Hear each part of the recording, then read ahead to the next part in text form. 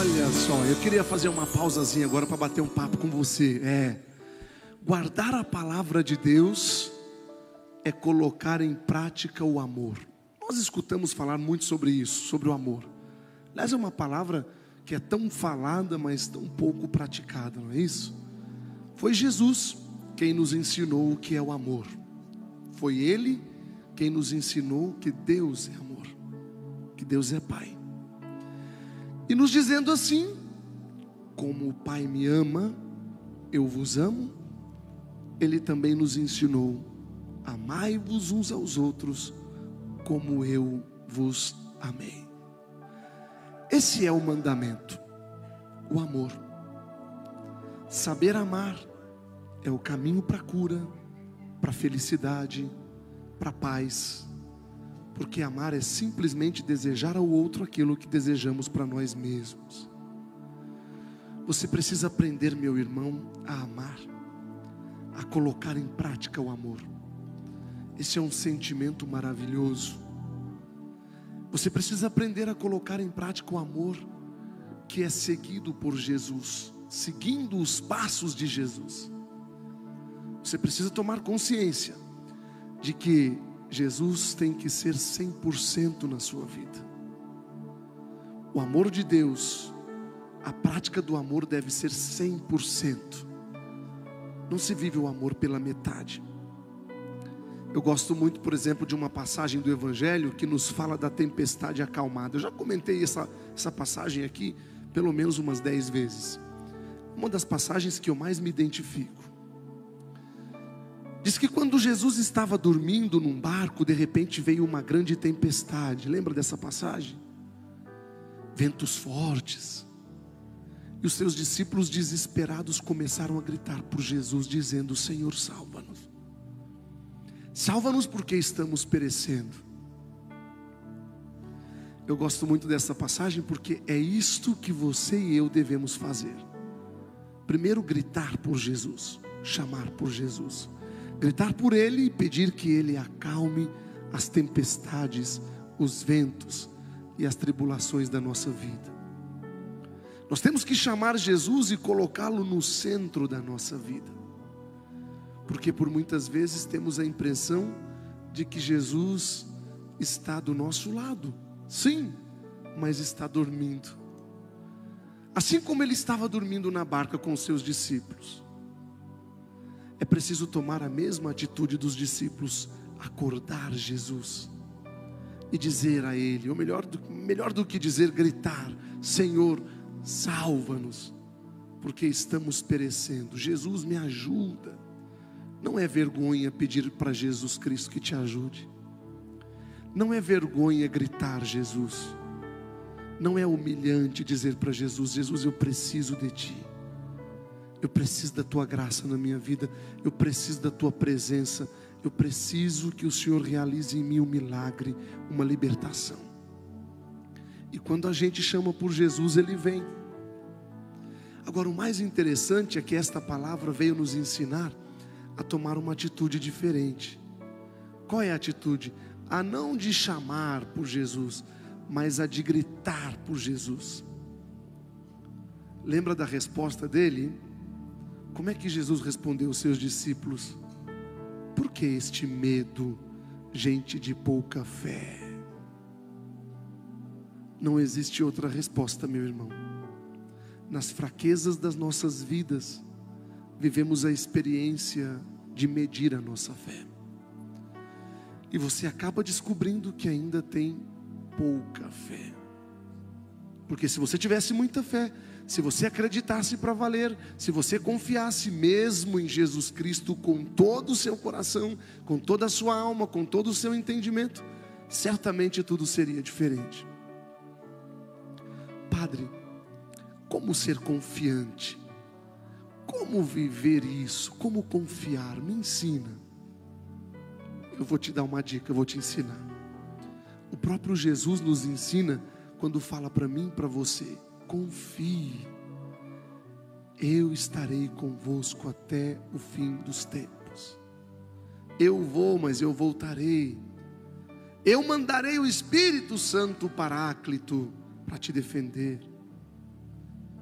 caiam mil homens à tua direita, dez mil à tua esquerda, tu não serás atingido, porque o Senhor deu uma ordem aos teus anjos para em todos os caminhos te guardarem. Eu quero deixar uma mensagem hoje para você. É tudo o que o Padre Alessandro prega desde que ordenou o desde quando eu me ordenei há 13 anos atrás. E se você que está aqui me assistindo agora, você que está aí me assistindo, também ficar convicto de tudo que eu vou te dizer agora, eu já me dou por satisfeito, me dou por realizado. Primeiro, que sem Jesus você nunca será nada. Sem Jesus Cristo, por mais alto que você esteja, um dia você vai cair. Mas grave isso. Por que você espera resultados diferentes se você faz tudo sempre igual? Deus não vai mudar a sua vida se você não mudar primeiro. Segundo.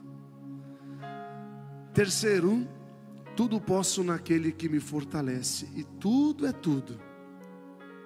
Quarto, Deus nos criou para sermos felizes.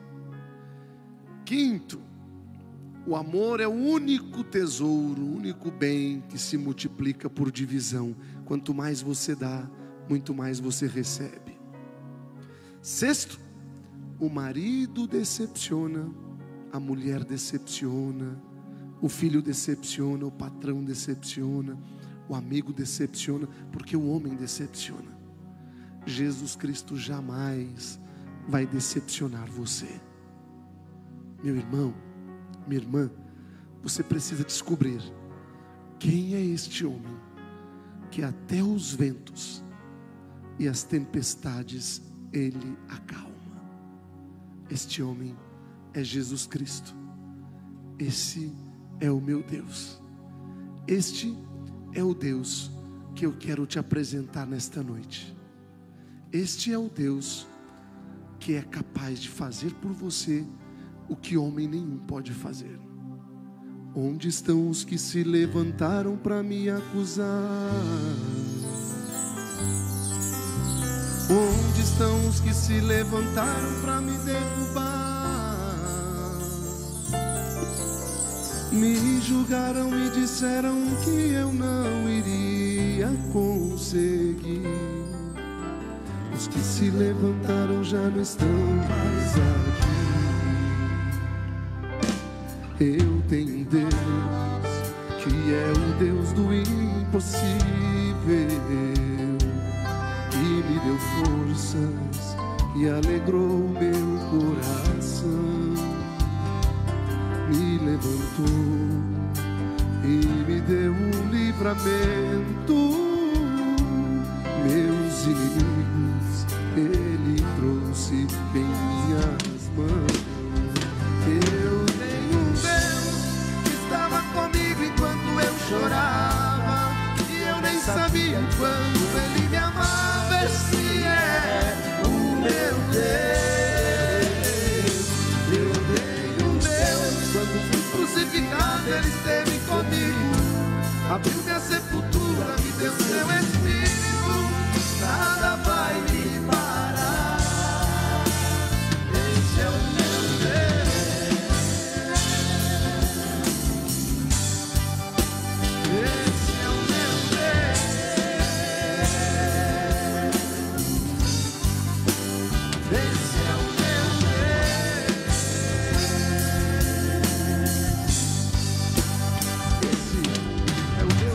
apresento nesta noite. Curve a tua cabeça, feche os teus olhos, põe a mão no teu coração e deixe o Padre rezar por você. Meu Senhor e meu Deus, nesta noite, eu te entrego a minha vida. Tudo que eu tenho e tudo que eu sou, Senhor. Eu entrego em tuas mãos, Senhor, cada um destes teus filhos e filhas que estão nos assistindo agora ao vivo por todo o Brasil e pelo mundo afora. O Senhor é o Deus do impossível. Onde estão aqueles que se levantaram para nos derrubar? É isso, é isso que diz esta canção. Onde estão aqueles que se levantaram para me acusar e disseram que eu não iria conseguir? Talvez você esteja vivendo isso. Talvez você esteja vivendo essa situação. situações em que pessoas não acreditam em você, situações em que pessoas olham para você e dizem: Você é um fracassado, você é uma fracassada, você não vai conseguir, você não vai dar conta. Mas o nosso Deus é o Deus do impossível. Eu tenho um Deus que tudo pode, porque o que é impossível para os homens é possível para Deus. Clame o poder de Deus sobre a sua vida nesta noite. Diga para Ele quais são as suas dificuldades, quais são os teus sofrimentos, quais são as tuas angústias. Diga para Jesus Cristo quais são os teus problemas. Entregue a sua vida nas mãos deste Deus maravilhoso e deixe Ele agir poderosamente na tua vida. E receba agora a bênção de Deus Todo-Poderoso, em nome do Pai, do Filho e do Espírito Santo. Amém, amém e amém.